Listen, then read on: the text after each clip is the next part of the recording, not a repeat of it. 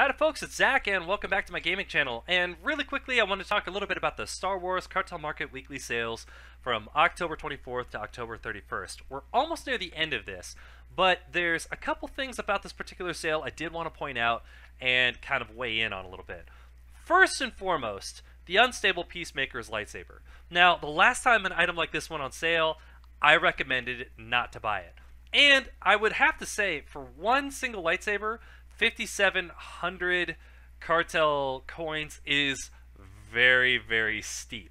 Uh, this is a platinum level item, and I understand why they priced it so high. Originally, when this came out in the cartel packs, this was extremely hard to get. People pumped in probably hundreds of dollars of real life money and gambling on trying to get it, and that's one of the things that's kind of kept its price inflated on the cartel market so seeing this as a direct sale, I can understand why they placed the price so high.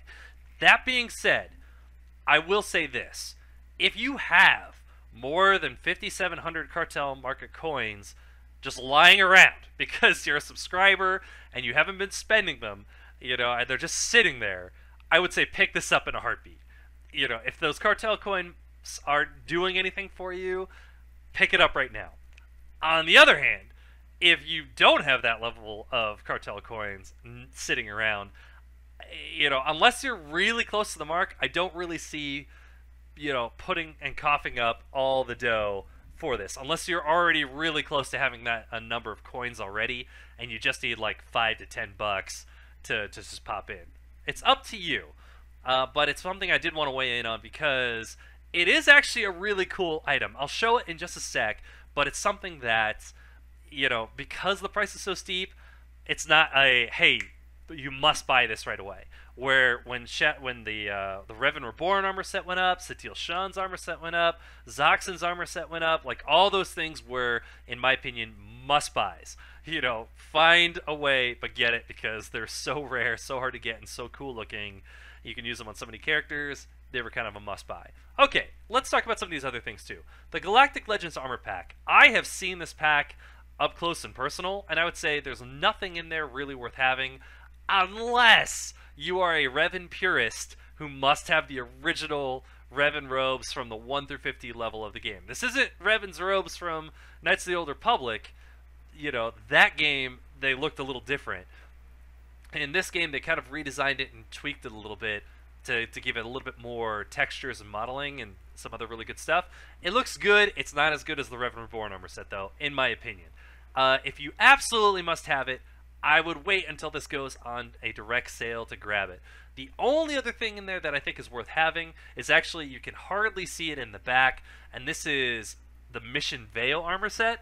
I actually like that armor set a lot. And it's a silver level item set. It's something you can buy in the cartel market or on a direct sale. Either or, I would say they're worth it.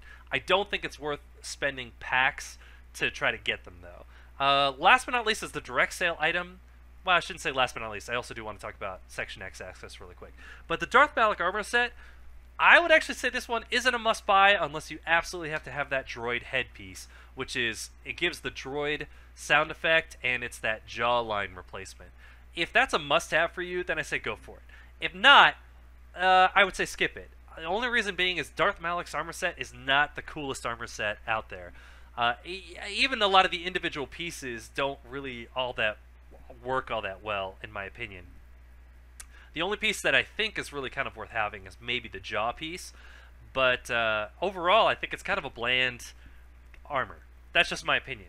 If this was Darth Malgus's armor set, I would say buy it in a heartbeat, because even if you didn't like the whole set, there's pieces out of that set that look really good, most specifically the boots.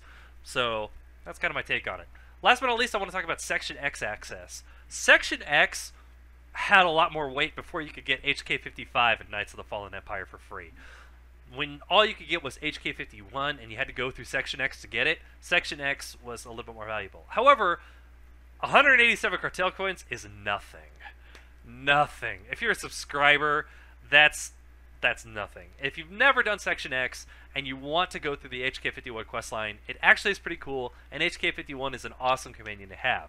There's just one tiny detail that everybody knows about if you've done it before, which is a hide and go seek to find the HK51 parts. That can sometimes be a hell of a pain in the butt. So, it's up to you. If you're cool with just having HK55, awesome. If you want HK51, definitely go get him. HK51 is still worth it, in my opinion, because he does have his own unique DPS moveset. Even though you can change your companions to do whatever you want, he and Shriek still have unique DPS moves, which are actually still really, really powerful. Okay, let's go ahead and jump into the game really quick, and I wanted to show you this lightsaber in action. Alright, so here is just some random Jedi scrub that I did. I hope the quality of this still looks alright. And uh, I went ahead and put those sabers on them. Alright, and that's them with their initial form. I actually think they look really cool. They have a very cool light up action. Yeah, and the nice thing is a lot of the special whiz bang lightning that's kind of going up and down the hilts and up the blades, that stays even during cutscenes, which a lot of the regular lightsaber lightsabers that they just don't have that effect. Uh, also, I'm gonna zoom in a little bit here on my character. Whatever color crystal you have shows through the handles of the lightsaber, which I think is awesome. You know, that's just, it's another little effect that I think is really cool. There's only a few lightsabers that do that, and uh, I think that one's really awesome for having it. Also, let me show you sometimes when you change out the color crystals, they don't look as good. And so let me throw these bad boys in there really quick, and I'll show you. So this is with uh, green and blue, and again, still think it looks fantastic. I also have the Riot Control tuning in there, and that's what's giving it that lightning around the, uh, the hilts, which I also think looks really amazing with this lightsaber. So for me, I had more than enough to, uh, to pick it up just lying around don't regret it for a second because you know I had all that the cartel coins. But uh, if you uh, are considering it and you're on the fence about it, I do think it's it's worth having if you already have enough for it with some to spare. Uh, again, like I said, you can see the color crystals through the, the handles, which I think is really awesome. And uh, again, just drawing them out. Cool effects, cool lightsaber. They look good as you run. Very important.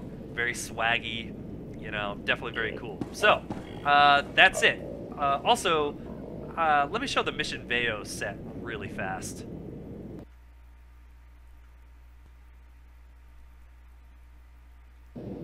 Okay, so I put uh, I put Mission Vao's outfit on Kira Carsen here, and this is actually one of the ones that I really like in this game. I don't usually say that very often about armor sets, but this is definitely one of them. The the chest, the vest, uh, it's one of the few really cool looking vests in the game. It's got that little R-band kind of going on the left-hand side. Also, the legs, this is one of the few, I usually like heavy armor looks. This is one of the few pairs of pants and boots that actually think really work well together, especially on female characters and female tunes. I put this basically on every, like, Risha, Vette, uh, basically, if they used guns in any way, shape, or form and they're a female companion, I'd probably put this on them as their default. I think it looks amazing. So it's definitely worth considering grabbing. I, I wouldn't say go through the pack for it, though. I would say buy it on the cartel market if you like the way it looks.